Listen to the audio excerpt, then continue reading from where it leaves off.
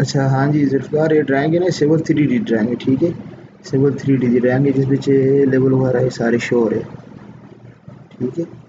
इस तरह इस तरह ना, ऐसा ऐसा करना है ऑटो कैड में सिंपल ऑटो कैड में। बस इतने ऐसा सी थ्री डी जिथे लिखे ठीक है?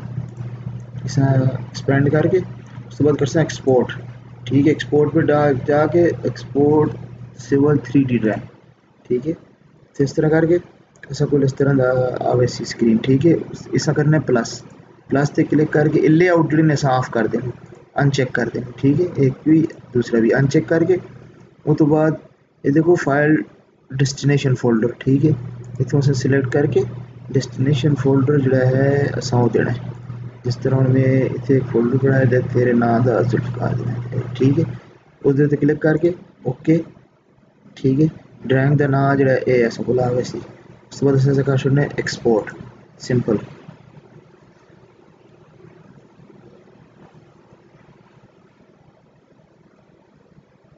ठीक है, थोड़ा सा टाइम किन थी? एक्सपोर्ट हो वैसे.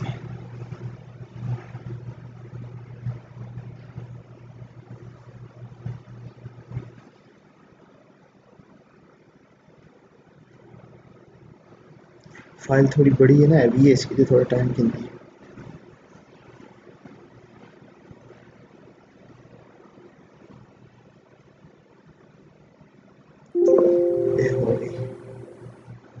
तकरीबन हो गई।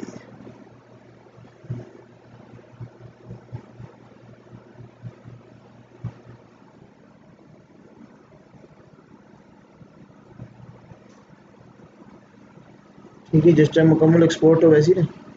ये हाइड हो तो ओके शो वैसी।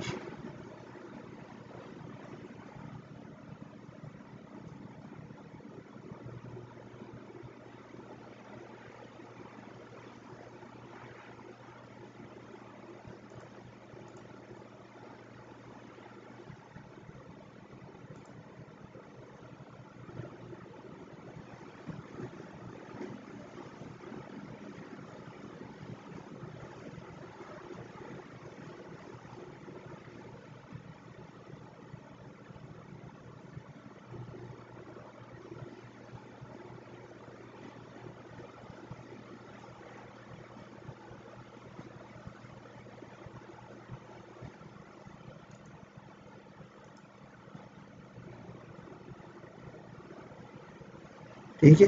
एक्सपोर्ट हो गई। देखो one of one file export हो गई। इसे करना है ओके ठीक है ओके करके कैंसिल कैंसिल तो बहुत इसे ब्रांड अभी कैंसिल कर देना, ठीक है? अच्छा, इसे नो करना है। सेव इसके मैं चेक करने और ड्राइंग की थी कि ये तेरे नाम का फोल्डर है।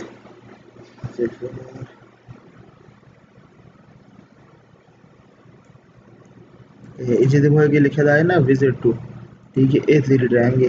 या उसे तू नाम चेंज भी कर छड़ने कर सकने, ठीक है? ये तेरी फ़ाइल सेव होगी इसे जो ओपन कर से। ठीक है, ये हम सिविल थ्री डी नहीं रही। इस बिच यानी कि सिविल थ्री डी का काम नहीं कर सकते, मसलन के सरफेस लाइना लेवल हर चीज़ शो हो सी मगर जो प्रोसेस असी सिविल थ्री डी से करने, वो प्रोसेस इस टाइम उत्ते नहीं हुआ उस फिर दोबारा, हो सकता है, फिर दोबारा कन्वर्ट करनी पैंती है, मगर उस तो थोड़ा अलग तरीके। है